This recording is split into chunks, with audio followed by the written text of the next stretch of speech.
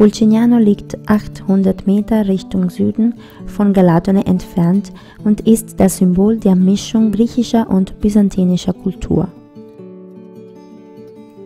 Während der Blütezeit des Ortsteils Fulignano gab es gewisse Spannungen mit dem nahen Galatone, vielleicht wegen der verschiedenen ethnischen, sprachlichen und kulturellen Unterschiede.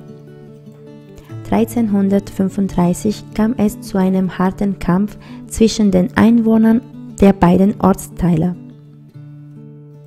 Die Bewohner von Galatone gewannen die Oberhand über Fulcignano und zerstörten sie.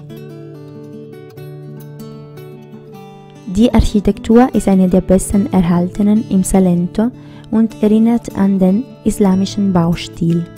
Die orientalischen Einflüsse wurden während der Kreuzzüge sowie aus Sizilien übertragen. Der Mauerring aus örtlichen Sandstein war etwas ganz Besonderes. Er flößte dem Besucher ein Gefühl von Ehrfurcht wegen seiner Undurchdringlichkeit ein. Er war ca. 8 Meter hoch, 75 Meter auf der längsten Seite und 49 auf der kürzeren Seite lang und ca. 2 Meter dick.